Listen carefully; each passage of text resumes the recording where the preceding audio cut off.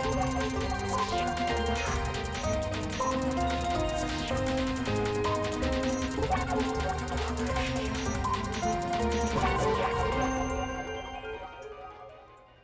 Olá, estamos de volta com o repórter NBR e as notícias do governo federal. O presidente Michel Temer convocou para hoje uma reunião dos Conselhos da República e da Defesa Nacional. O encontro será daqui a pouco no Palácio da Alvorada, aqui em Brasília. Repórter Luana Karen está lá para acompanhar o encontro e traz mais informações ao vivo. Bom dia, Luana.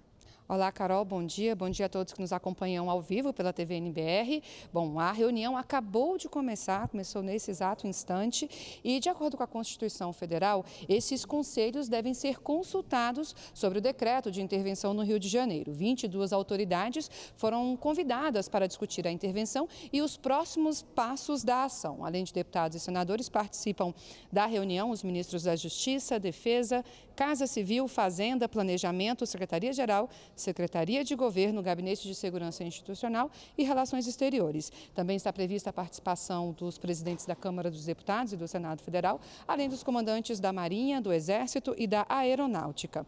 A intervenção federal é regulada pela Constituição. Em condições normais, o governo federal não pode intervir nos estados, mas o artigo 34 traz as situações em que isso pode acontecer, como para manter a integridade do território brasileiro, reorganizar as finanças de um ente da federação ou repelir uma intervenção estrangeira. No caso do Rio de Janeiro, a intervenção foi invocada para pôr termo a grave comprometimento da ordem pública. A ação deve durar até dezembro deste ano. O general do Exército Walter Souza Braga Neto, do Comando Militar do Leste, foi nomeado para o cargo de interventor. Na prática, o interventor assume a Secretaria de Segurança Pública do Rio de Janeiro e passa assim a comandar as polícias civil e militar, além do Corpo de Bombeiros do Estado e também do efetivo militar que vai agir no Rio de Janeiro. Lembrando que o decreto de intervenção, Carol, precisa ser aprovado pela Câmara dos Deputados e pelo Senado Federal e a votação na Câmara está prevista para acontecer ainda hoje. Voltamos com você pelas informações. Bom trabalho para você, Luana. E o governo federal decidiu criar o Ministério da Segurança Pública. O anúncio foi feito pelo presidente Michel Temer no sábado, durante reunião no Rio de Janeiro, para tratar dos detalhes da intervenção federal no estado. O repórter Ney Pereira acompanhou o encontro no Palácio da Guanabara, sede do governo do Rio de Janeiro. Depois de assinar o decreto de intervenção federal na segurança pública do Rio de Janeiro para combater a violência no estado, o presidente Michel Temer anunciou mais uma medida que terá impacto na diminuição do crime organizado em todo o país.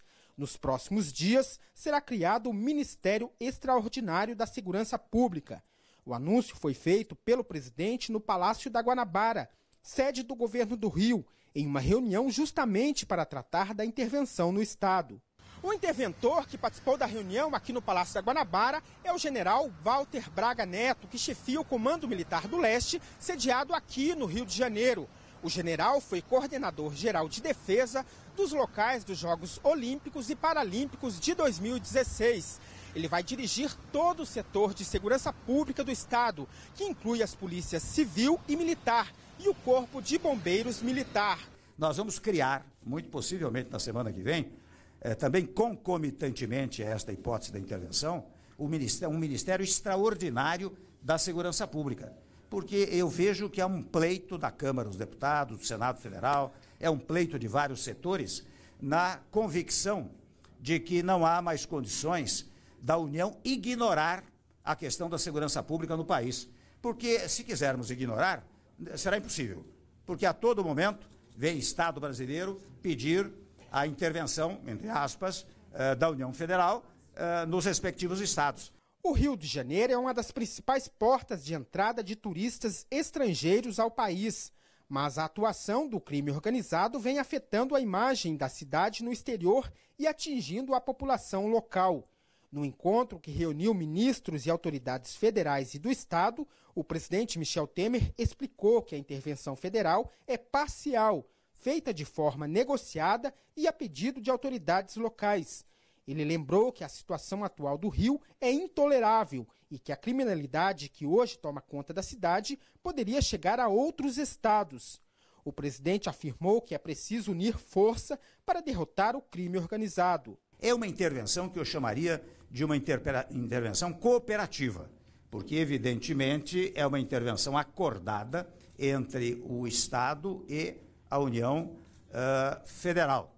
Daí porque nós editamos esse decreto. Cansados de tanta violência, para os moradores do Rio, a esperança de dias melhores está na intervenção federal na segurança pública. Eu acho essencial né, que isso aconteça. Nunca vi o bairro passando por situações como tem passado nessas últimas semanas, de assalto é, em, em, bares, é, bancas de jornal e até mesmo tiroteio, né?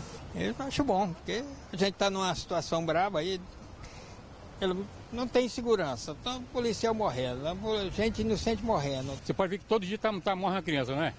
Agora vai acabar isso aí, pô. Eu tenho esperança de que haja alguma melhora, né?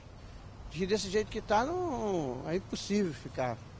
Com a intervenção, o Congresso Nacional fica impedido de fazer qualquer alteração na Constituição, o que afetaria a votação do projeto da reforma da Previdência. Mas o presidente disse que o projeto poderá ser votado se houver condições. Para isso, a intervenção seria suspensa de forma provisória. Nós vamos manter a intervenção. Num dado momento, se a intervenção causar todos os seus efeitos necessários e suficientes, e se as casas legislativas entenderem que é possível, juntamente com o governo, porque vocês sabem que nós precisamos ter 308 votos. Se não tivermos 308 votos, não adianta nem pautar a matéria. Nós faríamos cessar a intervenção para aprovar a Previdência. Assim como no Rio de Janeiro, o Ceará passa por uma onda de violência. Uma guerra entre facções criminosas causou em janeiro uma chacina que deixou mais de uma dezena de mortos.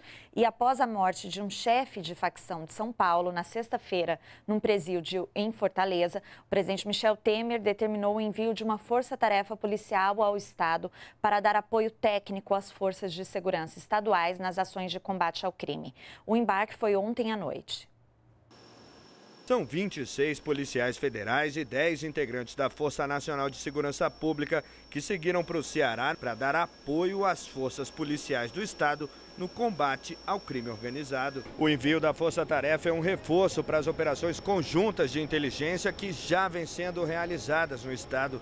O grupo vai dar apoio técnico às ações e investigações no Ceará diante dos últimos acontecimentos. O Ceará vive um momento difícil de segurança e uma vez mais o governo federal compartilha da responsabilidade de trazer a paz de volta ao Ceará.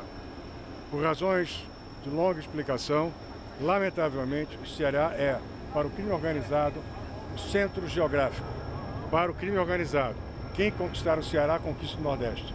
É, portanto, uma guerra de segurança pública. É completamente diferente do Rio de Janeiro.